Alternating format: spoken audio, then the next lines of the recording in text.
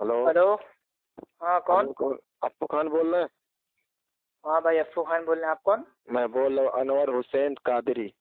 अरे यार फिर तुमने फ़ोन कर दिया। भाई। भाई मेरे माँ जब तक हमारे भाई सवाल का जवाब नहीं दोगे सही तरह से भाई कैसे सही तरीके से दें? क्या मेरे भाई वो डीजे लगवाएँ नबी का बर्थडे मनाएँ नबी के नाम का केक काट के नाच नाच के जवाब दें उसके बाद मानोगे? भाई कैसे मानोगे? सवाल एक सवाल है मेरा जवाब दे दो उसको। मैं मेरे भाई जाके अपने आलिमों से सवाल करूँ मेरे भाई क्यों अहले हदीसों से जान तो उनकी बात तो मानोगे नहीं लाख को मेरे भाई कुरान पेश कर दें लाख हदीस पेश कर दें। हमारे बात का सवाल का जवाब दे दो बस। अच्छा बोलो जल्दी बोलो। हमारा सवाल ये है कि लेकिन एक ही बता दे रहे सवाल पूछने से पहले सवाल मैं आपका खामोशी से एकदम सुनूँगा समझूँगा। लेकिन हाँ। जब मैं आपको जवाब दूँगा तो आपको भी आपके आला हज़रत के आला नस्ल के काले कुत्ते की आपको कसम है कि आप भाई हमारा सवाल का जवाब सुनेंगे। ठीक है हम सुनेंगे। क्योंकि आपके वहाँ तो अल्लाह को छोड़ के गरुल्ला की भाई कसम खाना ये जायज़ है ना? भाई हमारे वहाँ तो शिरक है अल्लाह के अलावा भाई किसी और की भाई कसम खाना। लेकिन आपके वहाँ तो मेरे भाई सब कुछ अलाउ है। जो कुरान में भाई वो जो कुछ भाई जायज़ है वो आपके धर्म में नाजायज है और जो कुरान में मेरे भाई हराम है वो आपके मेरे भाई धर्म में हलाल है। आप आपके कहने से थोड़ी कुछ हो जाएगा। आपके कहने से नहीं आपका हो जाएगा। अमल है ना? अमल अकीदे आपके ऐसे हैं। चलिए खैर आप सवाल पूछे नहीं। हमारा सवाल ये है है कि आप लोग इमाम के पीछे सूर्य फातिहा क्यों पढ़ते हैं? क्योंकि कुरान की आयत है इसमें अल्लाह फरमाता है कि कुरान अगर पढ़ी जाए तो शांत से सुनो उसको। अच्छा अच्छा शांत तो आप लोग सूर्य हाँ मतलब सूर्य फातिहा क्यों पढ़ते हैं इमाम के पीछे अच्छा भाई तो इस आयत से आप भागेंगे तो नहीं? नहीं भागेंगे क्यों? हमारे सवाल का जवाब दीजिए। जी मतलब सुनेंगे मतलब जिन तो आपका नहीं जागेगा? नहीं नहीं जीन कहीं जाएगा ज़रूर सुनेंगे तो थोड़ी ना है। जी भाई देखिए अब मैं आपको कोई आपसे ना हमको बहस करना है ना आपको जलील करना है ना आपको नीचा दिखाना है एक इसला की नियत से। हाँ। आपको समझाने के लिए आपको जवाब दे रहा हूँ। अगर समझ में आ जाए तो आप उसकी अच्छे से तहकीक करके अमल कर लेना। और समझ में ना आए तो चुपचाप फ़ोन काट देना। मेरे से फालतू भाई एकदम बहस ना करना। मेरी इस वक्त भाई जो तबीयत पानी है ठीक नहीं चल रही है ठीक है? ठीक है ठीक है मैं जवाब दूँ जवाब आपको पहले कुरान की जो आयत आपने पेश की सूर्य आराफ की आयत नंबर चार। हाँ। कि जब कुरान पढ़ा जाए तो गौर से सुनो और खामोश रहो खामोशी हाँ। ताकि तुम पर रहम किया जाए। हाँ। अब इस आयत को लोग ये दलील बना के पेश करते हैं कि इमाम के पीछे रोबोट बन के चुपचाप अपने होठों को सिल के एकदम चुप रहो कुछ मत बोलो। हाँ। तो मेरा ये सवाल है इस आयत के ऊपर ये आयत कहाँ नाजिल हुई? मक्का में मदीना में? या ये आयत जो है इसका कॉन्टेक्स्ट क्या था? क्या ये आयत इमाम के पीछे सूर्य फातिहा ना पढ़ने के लिए नाजिल हुई थी? ये सब हम आपसे कुछ नहीं पूछेंगे और ना आपको बताएँगे। हाँ। हमने बहस के तौर पे मान लिया। बिल्कुल। भाई हमने अपने हनफी भाइयों की और आपकी जो ये मंतकी दलील है हमने इसको बहस के तौर पे मान लिया कि हाँ बात सही है। कि हाँ। जब कुरान पढ़ा जाए तो खामोश रहो ताकि हाँ। तुम पर रहम किया जाए। क्योंकि क्योंकि नमाज़ में कुरान पढ़ा जाता है ना भाई? जी जी अरे मेरे हाँ। भाई आप माशाल्लाह इतनी आपने बड़ी बात बता दी ये तो पता ही नहीं था हमको नमाज़ में कुरान पढ़ा जाता है। वाह वाह वाह वाह माशाल्लाह माशाल्लाह। नहीं हमें नहीं पता था भाई। अच्छा अब आपने बता दिया। अब आप सुन तो लीजिए अभी आपने वादा किया था। हाँ, अब वादा ना तोड़िए मेरे भाई। सूर्य फातिया क्यों पढ़ते हैं आप? जी सूर्य फातिया क्यों पढ़ते हैं वही बता रहे हैं ना। वो क्यों पढ़ते हैं? अच्छा चलिए पहले आपको बता देते हैं सूर्य फातिहा हम लोग काहे के लिए पढ़ते हैं ठीक है? जानते हैं कि जब सही अल बुखारी की हदीस है हदीस नंबर सेवन फाइव सिक्स ठीक? हाँ, अल्लाह अल्लाह के नबी फरमाते हैं उसकी नमाज़ नहीं जो नमाज़ हाँ। में सूर्य फातिया ना पढ़े।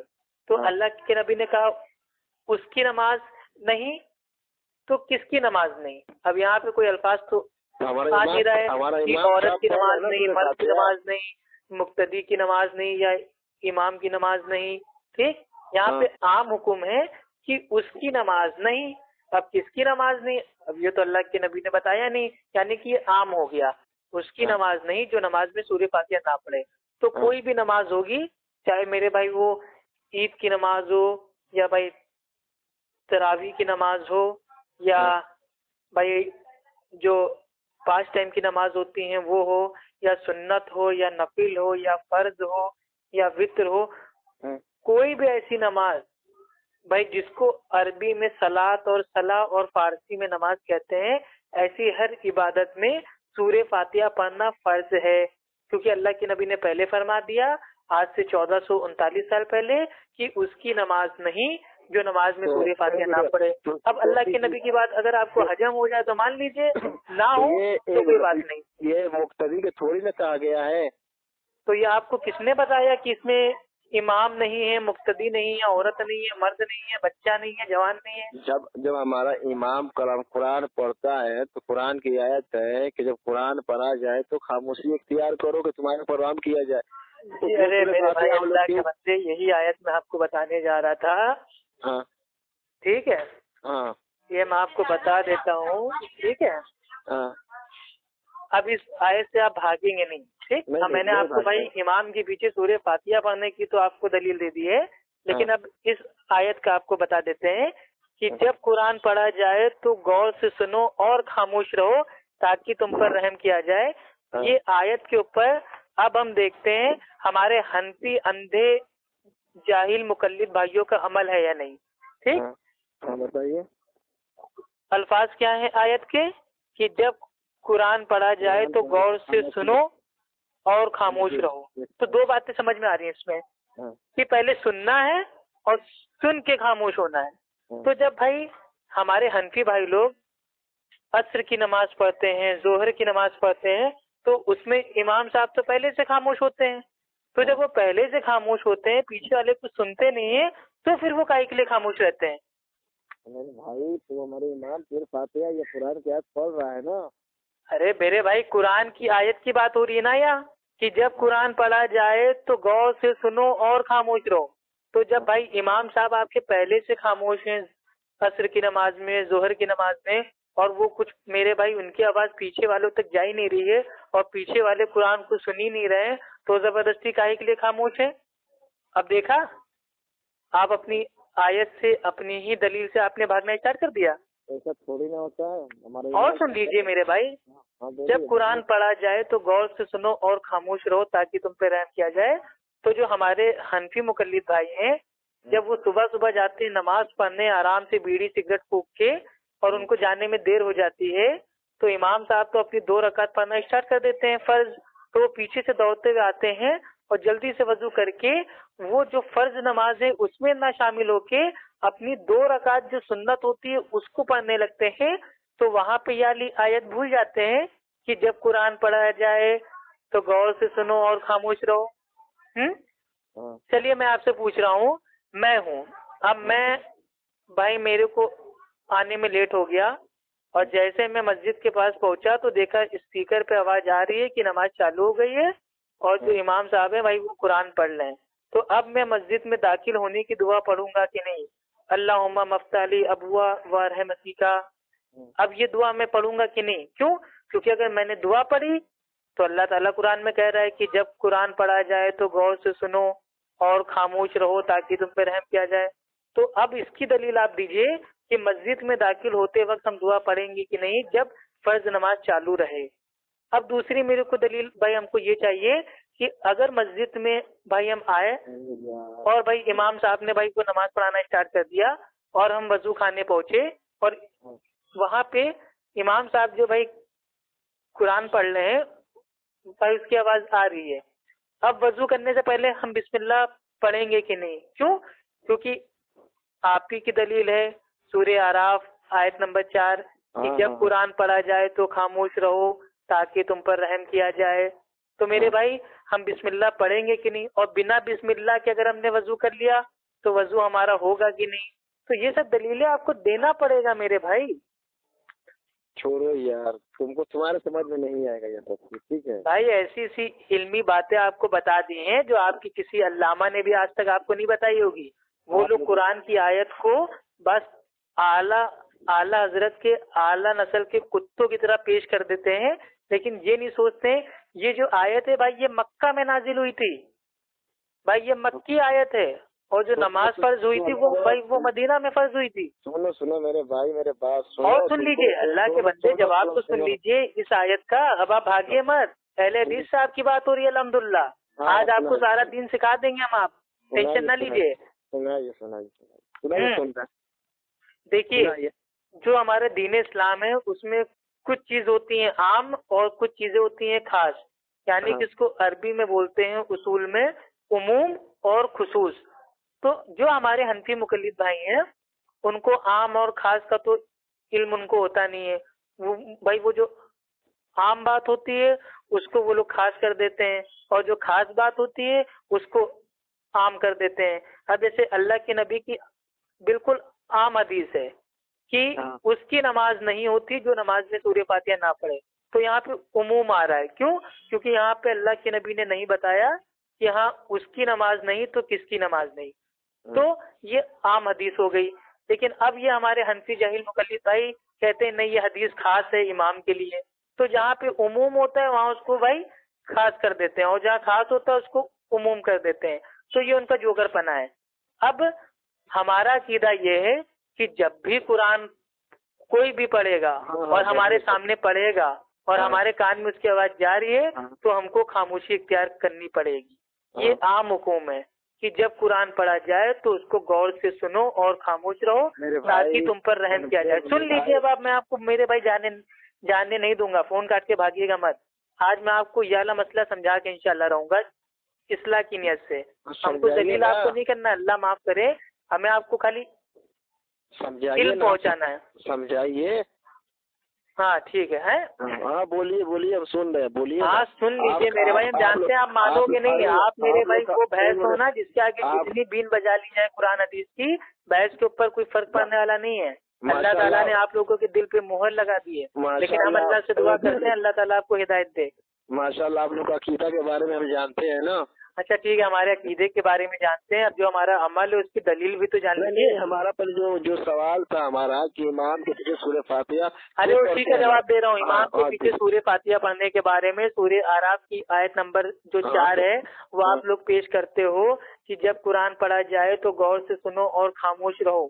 तो अब हाँ। यहाँ हमको देखना पड़ेगा कि खामोशी का माना क्या है।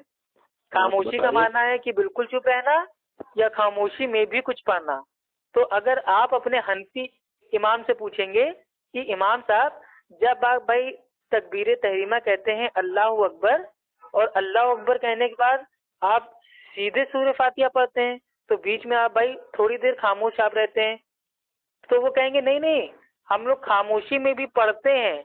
हम लोग सना पढ़ते हैं औजुबिल्ला पढ़ते हैं, बिस्मिल्लाह पढ़ते हैं। तो इससे क्या साबित हुआ कि खामोशी में भी आदमी पढ़ सकता है।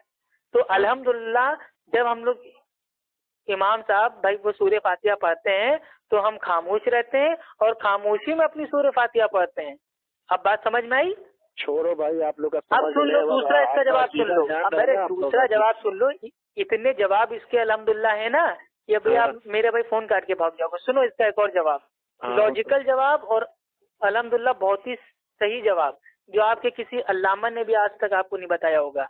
बताइए कुरान का जो ये आम हुक्म है कि जब कुरान पढ़ा जाए तो गौर से सुनो और खामोश रहो ताकि तुम पर हाँ। रहम किया जाए ये आम हुक्म है। अब आम हुक्म से अल्लाह के नबी ने सूर्य फातिहा को खास कर दिया। हाँ कैसे खास किया? ये भाई जाम तिरमेजी की हदीस है और अबू दाऊद में भी आती है कि अल्लाह के नबी एक मरतबा सुबह की नमाज़ पढ़ा रहे थे। सुबह की नमाज़ बोले तो? फजर की नमाज़। अब ये फ़र्ज़ की नमाज़ कौन सी होती है? ये जहरी नमाज़ होती है। तो जहरी नमाज़ अल्लाह के नबी पढ़ा रहे थे और अल्लाह के नबी के ऊपर कुरान पढ़ना भारी हो जाता है। तो अल्लाह के नबी जब भाई वो नमाज़ से फारिग होते हैं तो साहबी से पूछते हैं क्या तुम मेरे पीछे कुछ पढ़ते हो? तो साहबा कहते हैं कि हाँ अल्लाह के रसूल जो आप पढ़ते हैं वही वही हम भी पढ़ते हैं। तो अल्लाह के नबी क्या फरमाते हैं? कान खोल के सुन लीजिए। अल्लाह हाँ, के नबी फरमाते हैं हैं। कि मेरे पीछे कुछ मत पढ़ो सिवाय सूर्य फातिया के, क्योंकि जो नमाज़ में सूर्य फातिया नहीं पढ़ता, उसकी नमाज़ नहीं होती। अल्हम्दुलिल्लाह।